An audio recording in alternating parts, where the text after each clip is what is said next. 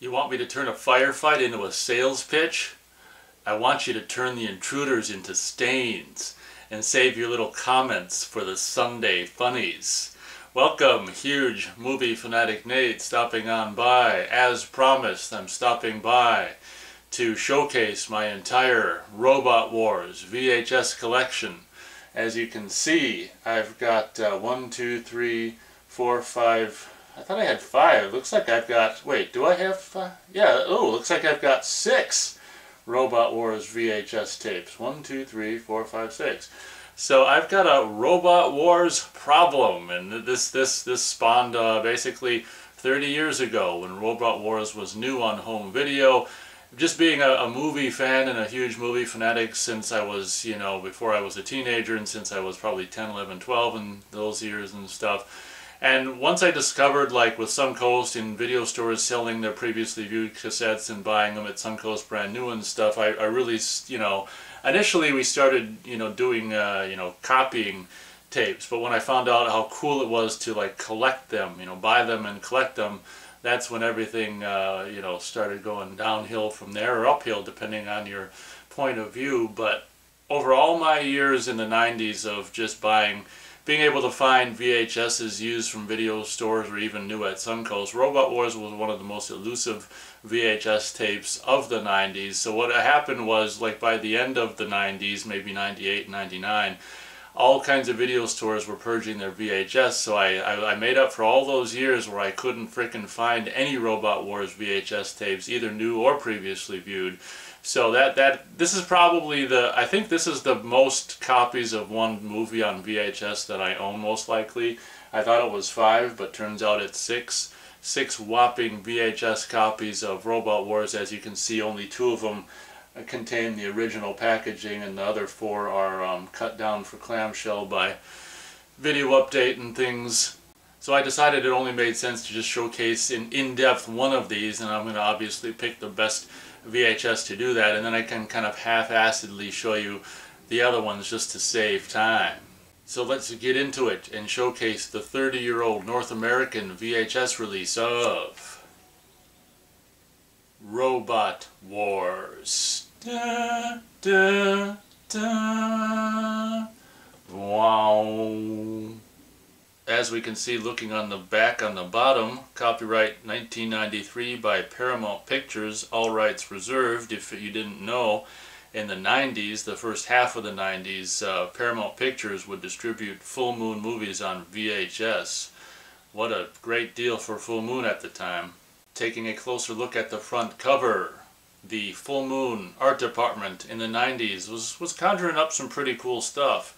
First, there was Robot Jox, Robot Wars. And this is kind of like a, not officially, but unofficially like a, you know, I guess a kind of a half-ass loose Robot Jox sequel. Not really, but they kind of, I, I think you can find images on online of, of cover art or poster art for Robot Wars. It says Robot Jocks 2. Maybe it's, uh, you know, other countries cover art. Who the hell knows? But at any rate, we've got Robot Wars. And panning further down, the robot, the main robot, the quote-unquote good robot, which is basically the crash and burn robot with the chest basically hollowed out and a head put on top. Um, for those of you who don't know, Full Moon put out a movie in the early 90s called Crash and Burn with Megan Ward and some other people in there as well, Bill Moseley and some guy who kind of disappeared. So basically the main good robot in Robot Wars is more or less the crash and burn robot just reused two or three years later. As we can see some lightning and exciting explosions all around the robot as the one other robot is shooting the robot. Incidentally no lasers come out of that place that's right next to the cockpit. All the lasers from the Scorpion robot come out of the tail as is indicated on the cover. We also see this goofy looking uh, pyramid thing which I think does play a part in the movie very briefly. I want to say it's the pyramid Oh, that that might be uh, that might be Total Recall. I was going to say Pyramid Mines, but I think this pyramid in, in Robot Wars might be where they store all the '90s toxic waste and sludge that they bottled up and uh, put in there. Who the hell knows? It's been a while since I've seen Robot Wars, but I know that at some point the one guy, bad guy, is trying to blast into. I'm pretty sure the toxic stuff is, is stored inside that pyramid. He's trying to blast his way into the pyramid.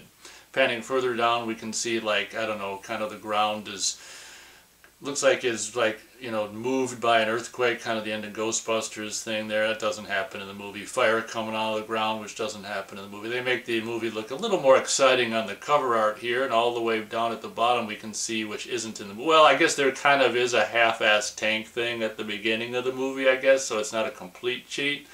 But there's a tank here that's like been blown up and you can see these guys they're like cheering on one of the robots. I don't know if those that's the Centros cheering on the, the Scorpion robot. Who the hell knows? At any rate, that doesn't really happen in the movie. I guess there is a tank that gets blown up, but so I guess you got to give them that. But at the very bottom here, it just as so often is the case with so many 90s VHS or early 90s VHS full moon releases, we've got plus video bonus, Full Moon's Video Zone, a behind the scenes video magazine taking a look at the right spine. I've always thought this image there of the stop motion robot was really pretty cool. I don't know why they gotta cut off his arms, but whatever. On the top of the spine you see the really cool good guy robot piloted by Drake and his, I don't know, new girlfriend Squeeze Barbara Crampton. I can't even remember what the hell her character's name is. The Robot Wars logo, which is pretty cool, just on black. Closed caption logo. Catalog number 15102 and at the time the early 90s the Paramount logo isn't that just crazy to see the Paramount logo? Like the full moon logo logo is not even on the spine which is interesting.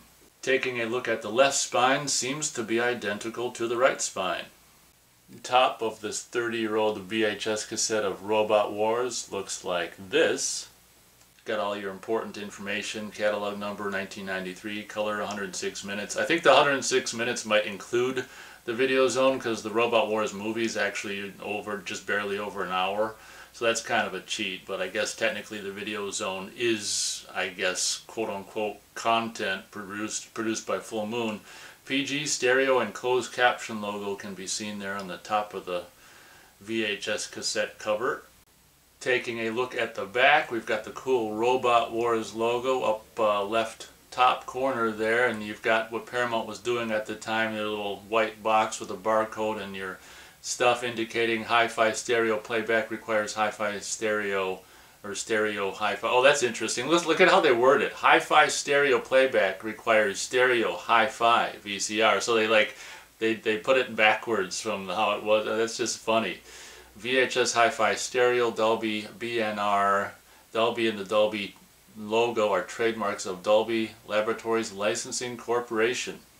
Obviously to sell this video cassette we've got three action photos, one of the stop motion miniatures there, Robot Wars, and the huge freaking, I don't know, 30 or 40 second, maybe it's a couple minutes long, robot battle at the end of this film. Another shot can be seen uh, Lisa Rinna coming out of the little uh, compartment there that was on top of the, the, the hostage compartment, or the compartment where the hostages were being kept on top of the Scorpion robot that was uh, hijacked by the evil, whatever the hell his name is. It's like a process shot where the stop motion uh, two-legged robot standing up straight is an animated behind there, which is a pretty cool shot. You've got live action foreground and animated background, kind of a, one of the cooler shots in the film. And then on the uh, far right there, we've got uh, Drake and his sidekick Stumpy, also known as the, the, the, the, the snooty guy at the I don't know the hotel in your or not National Lampoon's Vacation where he's you know not without a major credit card. I think that's the only other thing I can remember seeing him in other than those uh, episodes of Coach or whatever. Metal against metal, blow upon blow. Powerful arms reach out to grab and choke. Electrifying lasers light up the sky as they ricochet off solid plates of steel. The ultimate battle between metallic giants begins when a malicious foreign dignitary hijacks the last mega robot on Earth, the Maris II, and threatens to unleash its crushing powers against the people of the Eastern Alliance. There's only one force magnificent enough to stop the Maris II, a Mega 1. Makes sense. Robot hidden under the city. It's up to Renegade Pilot, his engineer, and a brilliant archaeologist to revive the Mega 1 and reestablish a world peace. I mean, they never really, I don't think world peace was ever a, a, a, a threat, but whatever. It sounds good. Will the Mega 1 be able to survive the onslaught of the new robot and its superior technology? A phenomenal battle lies ahead. Uh, maybe not that phenomenal, but what the hell, I loved it as a 16 year old 30 years ago. Then you've got your credits there, as you can see on the bottom beneath the credits, copyright 1993, Full Moon Entertainment, all rights reserved, this being a early 90s release. It is recorded like so many things were at the time in ultra stereo. On the very bottom there, it's the only place I think on this whole release where they actually do have the Full Moon logo. Full Moon Entertainment right next to the Paramount logo there, distributed and marketed exclusively by Paramount Home Video. And you can see there the, uh, well you probably can't see the holographic nature of the sticker on the video, but back in the day, um, Paramount put uh, so many of the VHS home video releases were like this. So many different studios, they did it in different ways, but at the time, Paramount was putting a holographic seal which could not be duplicated on their VHS, which would indicate if it was a new or used cassette. Taking a look at the VHS cassette itself, this is what Paramount VHS tapes looked like in the early 90s. Kind of cool, different, like, what is there, like uh, one, two, three, like four different colors there.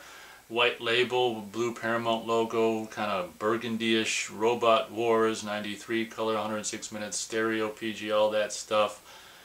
Copyright 1993 Full Moon Entertainment, all rights reserved. And under the blue line we've got green information there, your all important copyright warning information in green.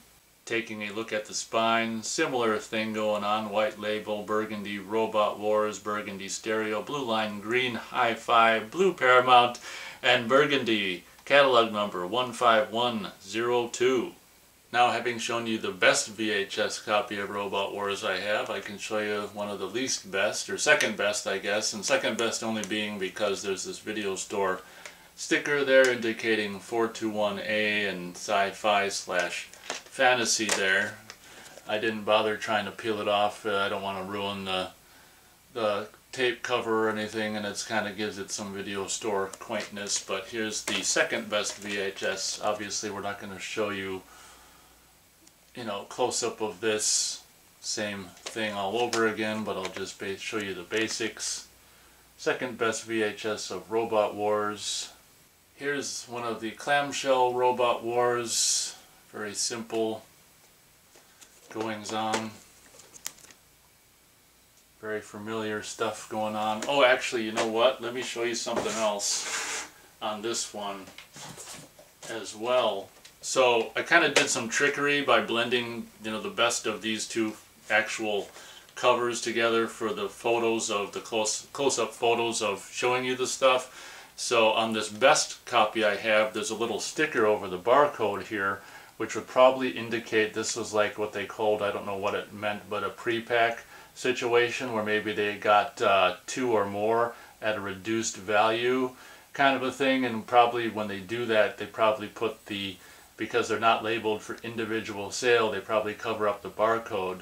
So that's what's going on with this. So this is technically the the best one I have with both spines intact. I kind of did a, on the photos that I showed you of the close-up, I did a mishmash of this VHS and this one because this one's got the sticker there on the spine but it doesn't have the sticker over the barcode so I did a mishmash of the best to show you the close-up photos of one of these covers, well, that's not cut down for a clamshell. Here's another of the clamshell releases, as I've already indicated, very familiar. I've kind of noticed that uh, yet, yet again probably another one of these pre-pack situations where they got multiple copies, most likely at a reduced price. Looking at this one, same thing, barcode is covered, very cool goings on, Robot Wars, You can see for to sell the VHS, the little barcode there has been scribbled over. How's that go with these other ones?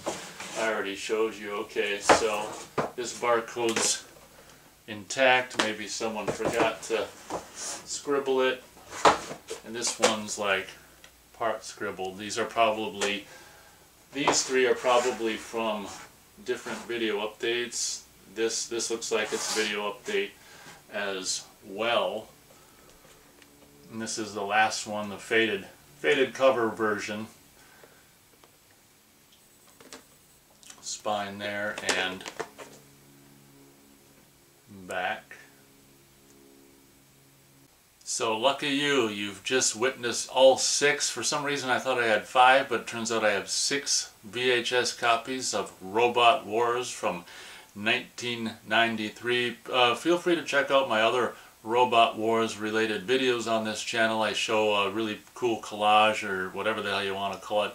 Clips of all the Robot Wars things I own. I probably won't be showcasing all of it, but I will be stopping by to showcase at some point in the coming days, weeks, the laser disc and also the compact disc soundtrack CD that I own most likely unless I really feel ambitious will not probably pull out the poster as that's buried. And you can see the poster on one of my other like one of my first maybe both of the Robot Wars reviews at least the first one like the oldest Robot War review from I think it's like 10 years ago probably is going to be that video that showcases the clips of all the Robot Wars things that I own the VHS's the the DVD. I, I, suppose I could stop on by to show the DVD. That's not that amazing, but DVD, Laserdisc, compact disc soundtrack, and and uh, video store poster. But at any rate, I guess that does it for this video. Thanks so much for watching. Hope you guys enjoyed.